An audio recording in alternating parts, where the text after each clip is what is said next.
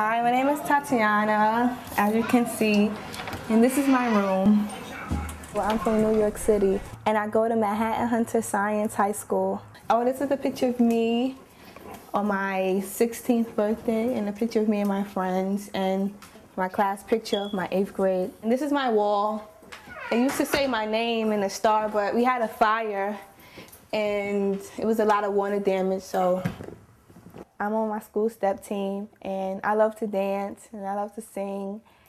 I mean, I can't sing, I just love to sing. And uh, I love hanging out with my friends. I always go to church. I love going to church. And while I'm at church, I sing on the choir. Um, I praise dance.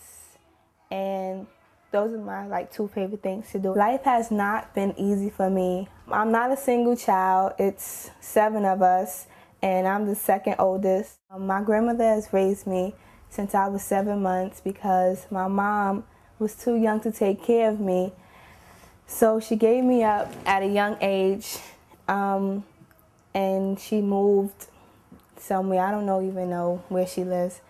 Um, my dad, he got locked up when I was young, about seven years old, and he hasn't really been here to see me like grow up. It's hard trying to graduate high school, especially in the school I go to because it's very advanced.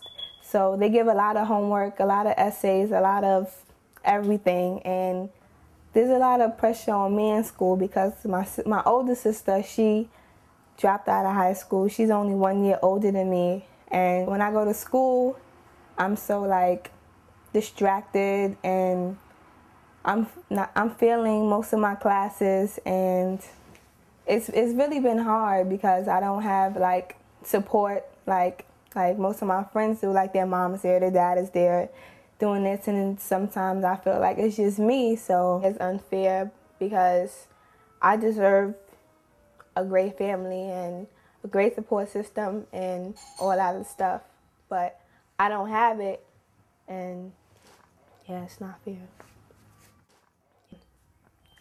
if my parents were around, I feel that um, the relationship would would have helped me go further or keep me focused in school. I hate failing my classes because I know I'm just as smart as I'm just as smart as everybody else and I'll be the first one out of my family to graduate and it means everything to me. I want to graduate.